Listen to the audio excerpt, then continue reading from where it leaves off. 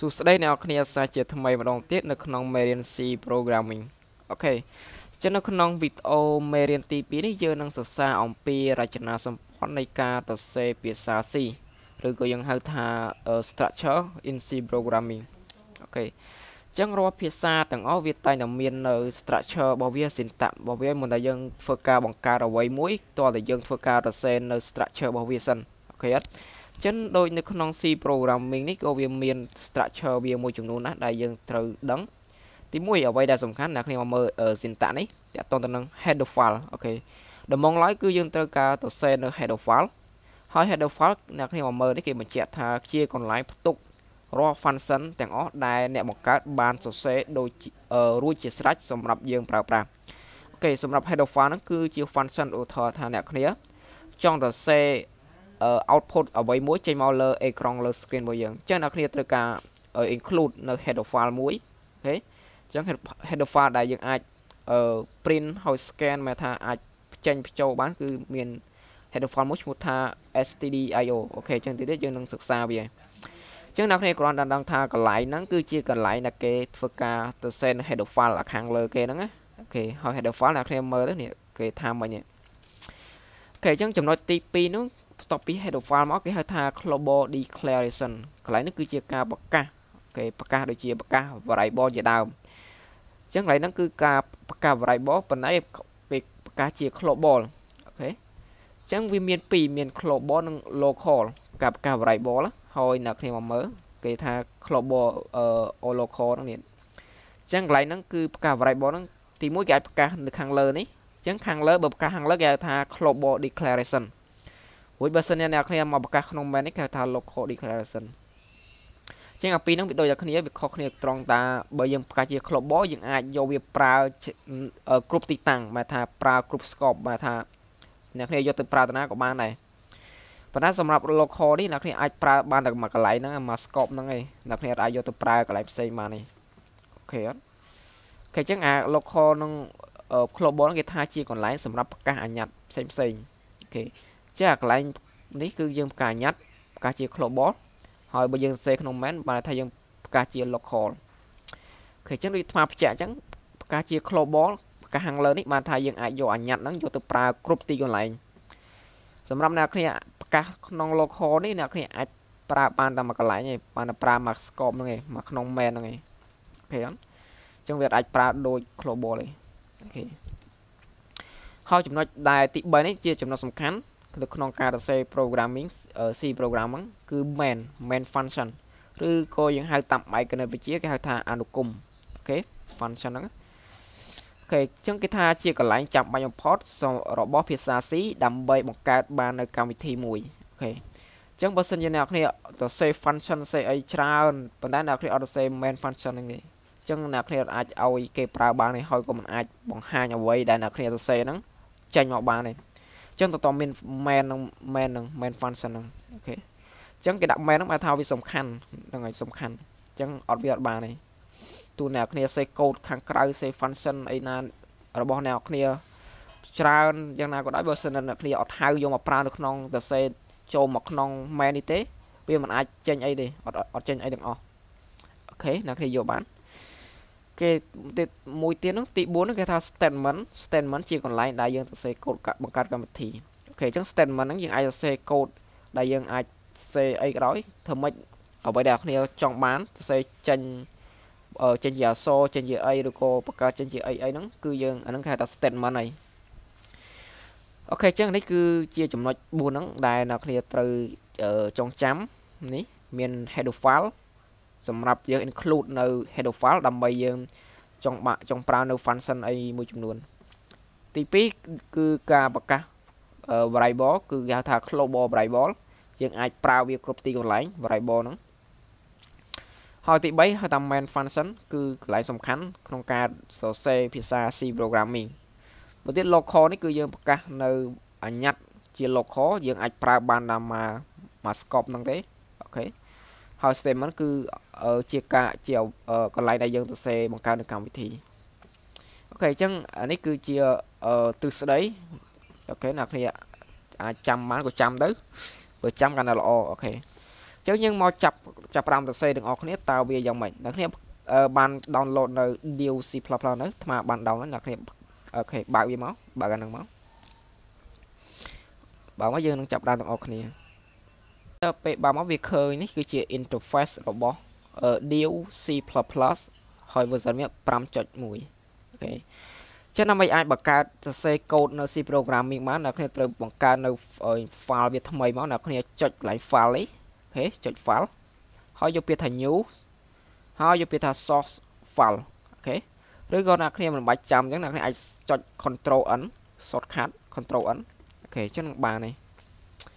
តែមកទៀតអ្នកគ្នាធ្វើការ save វាក៏បានឬក៏ពេលអ្នកគ្នា save ហើយអ្នកគ្នា compile ទៅវានឹងរត់ទៅ save auto អូខេអញ្ចឹងដំបូងអ្នកគ្នាត្រូវសរសេរនៅ header file អូខេអញ្ចឹង header file ដែលជា header file standard សម្រាប់ input output គឺយើងមាន header file មួយឈ្មោះថា stdio ចឹងដើម្បីចូល header file មកប្រើបានអ្នកគ្នាទៅប្រើសញ្ញាទង់ជោគហើយសរសេរពាក្យថា include include នេះបានថាយើងយក អា header file ហ្នឹងបញ្ចូលនៅក្នុង program របស់យើងអូខេហើយអ្នកគ្នាបើកសញ្ញាតូចតូចសញ្ញាធំយ៉ាងមកហើយក្នុងនោះអ្នកគ្នាសេ stdio.h អូខេជាងនេះគឺជា header file សម្រាប់ standard input output សម្រាប់យើងយើងចង់បើថាបញ្ចេញឲ្យគេមើលហើយអ្នកគ្នាអាចបញ្ចូលពី keyboard ទៅអូខេអញ្ចឹងអ្នកគ្នាអាចប្រើ header file នឹងបានគឺ stdio អូខេអញ្ចឹងបន្តមកទៀតយើងធ្វើការប្រកាសនៅ variable global variable អ្នកគ្នាមកមើលក្នុងនេះនេះ global variable តមកអូខេអញ្ចឹងការប្រកាស variable នៅក្នុង C program យើងអាច define ទៅលើ data type របស់វាឧទាហរណ៍មកដាក់ integer a អញ្ចឹងចុះអូខេទៅទៀតយើងនឹងសិក្សាអំពី variable detail ឥឡូវគាត់ណាអាត្មាចង់បញ្ជាក់ថាអាកន្លែងហ្នឹងគឺជាកន្លែងគេប្រកាស variable ហើយអ្នកគ្នាមិនបាច់ចាំ focus អឺសិនទេចាំវីដេអូក្រោយចាំអ្នកគ្នា focus គាត់ថានេះជាការប្រកាស variable អូខេចានេះជា global អញ្ចឹងបើសិនអ្នកគ្នាចង់យក A នេះចូលទៅប្រើកន្លែងណាក៏បានដែរប្រើយក A ហ្នឹងអូខេតទៅទៀត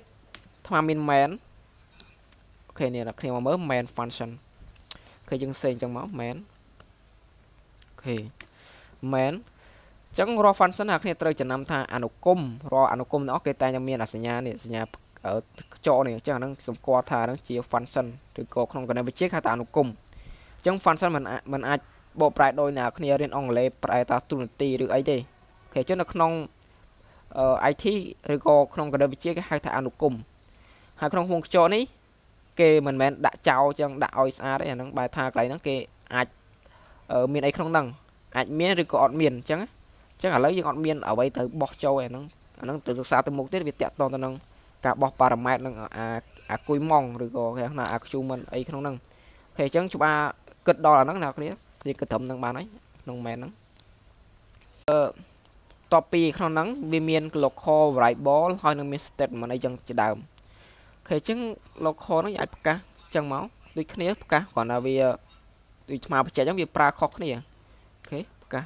វាប្រើខុសគ្នាអញ្ចឹងទៅអូខេត មកទៀត statement ហ្នឹងឧទាហរណ៍ថាអាត្មាចង់បាន A ឧទាហរណ៍អាត្មា assign A ចុះ assign A អឺ assign A ស្មើ10ចឹងចុះអូខេអញ្ចឹងអាត្មាចង់បាន A នេះយកមកប្រើក្នុង main តើយើងអាចយកប្រើបានអត់អូខេចម្លើយគឺយើងយកអាចយកបានព្រោះថាយើងរៀនគ្រឹះស្ដីមិនបានន័យថា global variable បានថាយើងអាចយកវាប្រើគ្រប់ទីកន្លែងអញ្ចឹងយើងអាចយកមកប្រើក្នុង main នេះបានអូខេអត់អញ្ចឹងឧទាហរណ៍អាត្មាចង់បង្ហាញអ្វីមួយចេញបង្ហាញ A នេះចេញមកក្រៅអូខេបង្ហាញ A នេះចេញមកក្រៅអញ្ចឹងថ្មអាចសរសេរនៅ function មួយរបស់ header file នេះ header file នេះ function ដែលមាននៅក្នុង header file ហ្នឹងគឺឈ្មោះថា printf printf okay អញ្ចឹងអរេអ្នកគ្នាឈប់អាគិតដល់ហ្នឹងព្រោះយើងនៅរៀននៅមេរៀនក្រោយទៀតគ្រាន់តែអាត្មាចង់បង្ហាញថា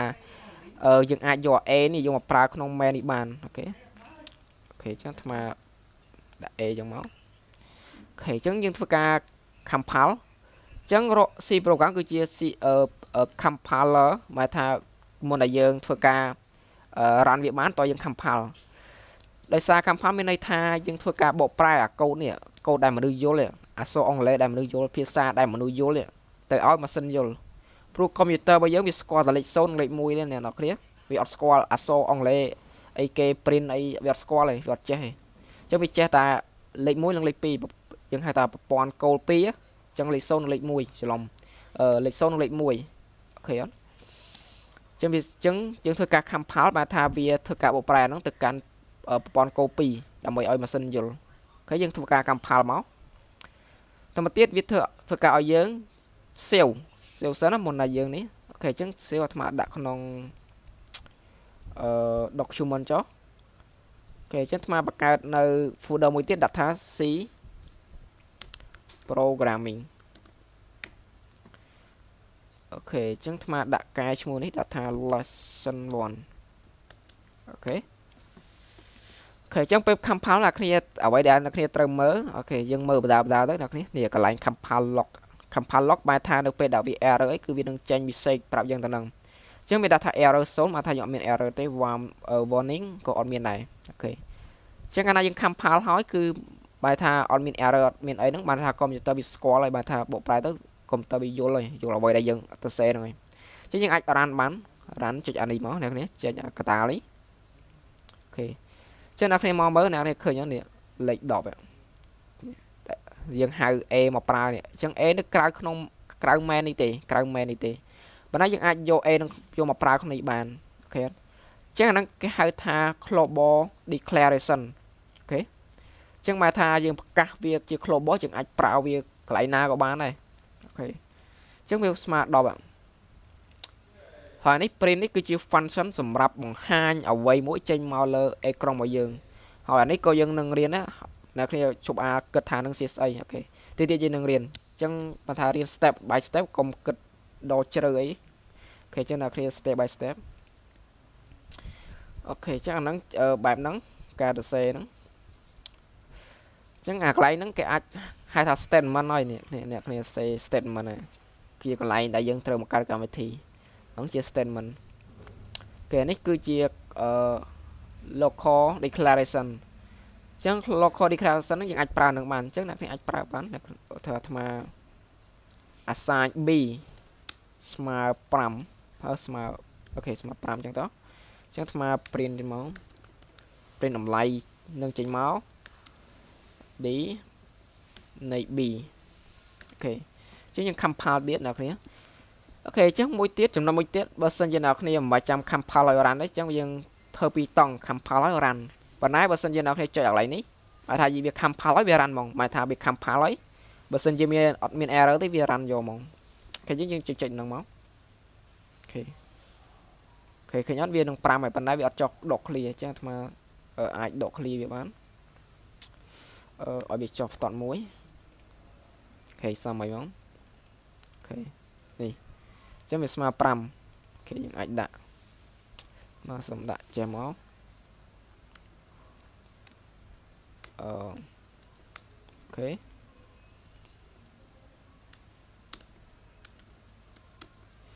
អូខេអូខេអញ្ចឹង A ស្មើ10 B ស្មើ5 okay អ្នកនេះឃើញអត់ okay okay អញ្ចឹងនេះជាបញ្ហាមួយដែរអ្នកគ្នាពេលអ្នកគ្នា run ម៉ាសាហើយបើសិនជាវាអ្នកគ្នាចុងកែអ្នកគ្នាត្រូវបិទអា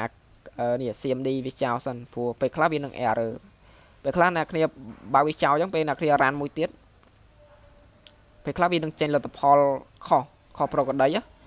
ខេអញ្ចឹងអ្នកគ្នាអាចធ្វើការបិទវាឲ្យអស់ទៅហើយអ្នកគ្នាសេអីសេទៀតទៅហើយរ៉ានសាថ្មីអញ្ចឹងពេលរ៉ានហើយអ្នកគ្នាអាចបិទវាបានអូខេកុំឲ្យវាមានបញ្ហាអូ ខេនេះគឺជា structure ក្នុងការសរសេរនៅ C programming អូខេនេះជា basic អ្នកគ្នាត្រូវចាំខាងលើនេះគឺជា header file ព្រោះថាបើសិនជាអ្នកគ្នាចង់ប្រើ function មួយនេះអញ្ចឹងអ្នកគ្នាត include នឹងឧទាហរណ៍ថាថ្មអត់ include នឹងទេអ្នកគ្នាពេលអ្នកគ្នា compile មកអូខេឃើញអត់ error នេះគេដាក់ថាម៉េច in function in main នេះនេះឃើញ function in main ហ្នឹងអញ្ចឹងវាអត់ដើរគេថា printf first not declare in scope